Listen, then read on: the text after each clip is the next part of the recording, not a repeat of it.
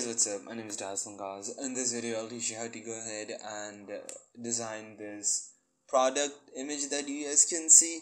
I don't know what it's called, but whatever it is, you guys get the point. Anyway, so I'm working for this company and they sent me this lipstick box. And if you're wondering how I took these pictures, I'm about to tell you. So I took a white sheet and then I took a light ring, like that circle thing that a lot of YouTubers use and then I basically used uh, my sister's iPhone X because I have a trash phone. And then I took pictures through her phone. And that's how I was able to get these images. Uh, and I'm gonna try to explain this in detail because I know a lot of beginners might be watching this video. So let's go ahead click on file. And then from there I'm gonna click on new. Uh, then I'm gonna you can basically kind of select any resolution you guys like I'm gonna be choosing uh, 2K which is 1440p and that's 2048 by 1080 I think that's 1440p correct me if I'm wrong but I'm gonna click on but we're just gonna use 1080p for the sake of this video. And then I'm gonna crop, crop it to 4 by 5 ratio which is like the Instagram main primary ratio. I design pretty much everything in this ratio just because it perfectly fits with the Instagram ratio. I do this for posters as well so I'm gonna import my image. And let's do this lipstick for now. And I'm gonna click on enter. First thing first you need to get rid of the background. So I'm gonna use a pen tool. Okay so I'm basically done with my outline. And I'm gonna go ahead create a vector mask. And now we have this lipstick. I'm gonna place this in the middle. So hit Control T to transform the layer and basically gonna go ahead set this in the middle. And to me this looks good. And I'm just gonna go ahead and make this a little smaller. So before we do anything else I'm gonna create a shadow for the product. So I'm gonna hit Control J to duplicate that layer. And then I'm gonna go to blending options. From there set it to color overlay and I'm gonna set it to black. Then I'm gonna hit Control T and I'm just gonna go ahead and extend the shadow so something like this again and I'm gonna change it to black obviously. I'm gonna lower the opacity and then I'm gonna use the eraser tool to erase the edges of the design. So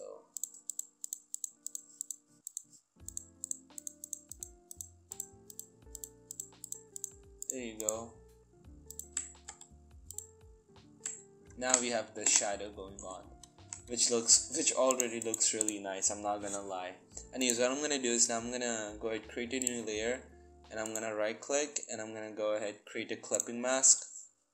Now whatever we do it stays within that layer and i'm basically gonna go ahead fill this with the black just like this.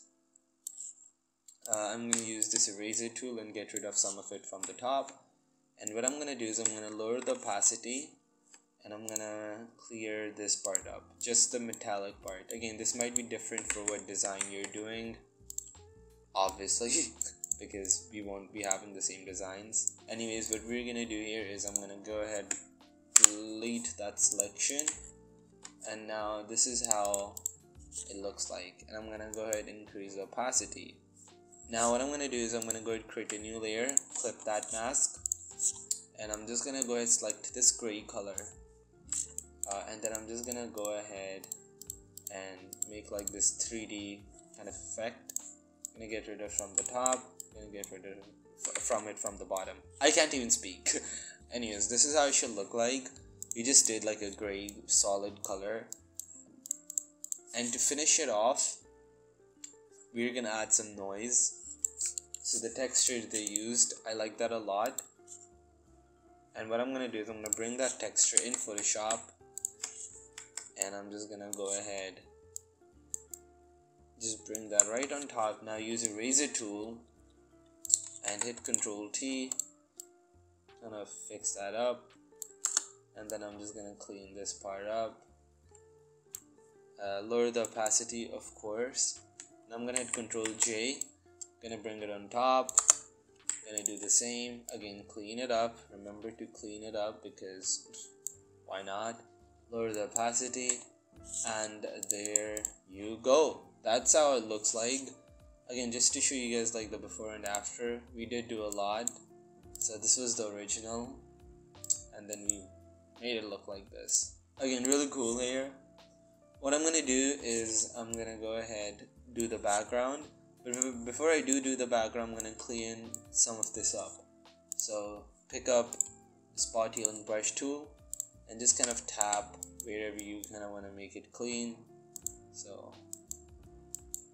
now what I'm gonna do before I do kind of finish my design off I'm gonna put like a particle on the background. So to do that we're gonna go to file. I'm gonna click on open and there's this graphics pack that I use which I will leave in the description down below. Uh, it is a paid graphics pack I believe. Uh, it's called fragments graphics pack and again you can download the template from my patreon so you can get the particles or whatever i use for free which is kind of cool. Anyways we're gonna go ahead. If you do have this or anything similar to this you can use that as well. And i'm gonna use this particle. Let me just go duplicate that back into my original project file. Gonna bring it down. Let me just change it to something that you can see. Yeah there you go. Control u colorize increase that make it work with the background. That definitely does work. Something like this. Oh yeah that definitely does look nice. Again this is like a personal preference. Before I do end this video I'm gonna go ahead and add some colors. So maybe we can play around with the brightness. So maybe increase the brightness. Increase the contrast for sure we can play around with the level so maybe that's there increase that increase that just a little bit. That can stay there. And there you go so before after just add that little kind of lightning going on. And yeah that's really it. That's how you go ahead do a product design uh, I hope you guys did did enjoy this video. I know this was long. I know I talked speak like I spoke really slowly, but I really just wanted to explain myself because usually what I do through my tutorials, I'm just like rapping through them. I'm like, hey guys, what's up? My name is Dazzling Gauss, and I'm back in with yet another video. so I said, you know what? I'm gonna just slow down a little bit for this tutorial. And yeah, that's really it. I hope you guys did enjoy this video.